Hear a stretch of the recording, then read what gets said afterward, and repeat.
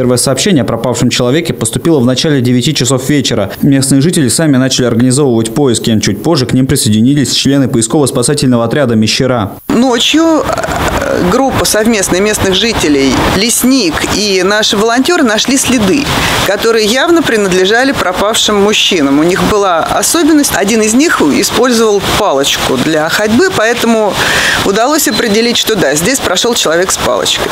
И вот в этом направлении выдвинулся лесник и нашел их. Они прошли около 15 километров. Людей, которые принимают участие в поисках, к сожалению, немного. Рима Желтухова рассказала, что в последней операции принимало участие около 8 человек поисково-спасательного отряда. А лето – один из самых опасных сезонов, потому что часто теряются именно грибники. В этом лесу, например, за несколько дней заблудилось уже четверо. Двое грибников, женщина, которая, к счастью, сама нашла выход, и сейчас продолжаются поиски 69-летнего Алексея Николаевича Ершова. Хотя вот с грибниками, кстати, бывают случаи, когда они не откликаются.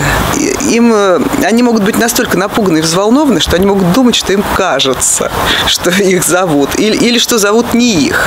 Поэтому вот э, хотелось бы грибникам напомнить, что если вдруг вы заблудились, слышите людей, машины, вам нужно дать о себе знать. Пускай даже эти люди и звали не вас, но если они вас найдут, то это уже будет хорошо. Рима Желтухова напомнила основные правила перед тем, как отправиться в лес. Одно из самых главных – это оповестить родственников о том, куда и в какой лес отправляетесь. А зачастую бывает и так, что на том же автовокзале человеку вместо запланированного маршрута советуют другой, более подходящий для тихой охоты. И если вы все же решили сменить точку поисков, то об этом нужно также оповестить родственников. Также советуют надевать яркую одежду и брать с собой легкий перекус, несколько батончиков или шоколадку и бутылку воды и полностью зарядить свой телефон.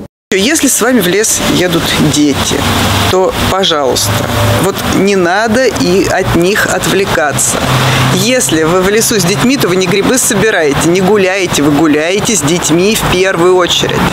Потому что вот самый распространенный способ потери ребенка в лесу, мама отвлеклась на грибную поляну, а ребенок отвлекся на пролетевшую бабочку. Все, они за несколько секунд разошлись по разные стороны какого-то там кустарника или дерева, Дальше мама подумала, что ребенок пошел в одну сторону, ребенок подумал, что мама пошла в другую. Все, потом это может быть многодневный поиск.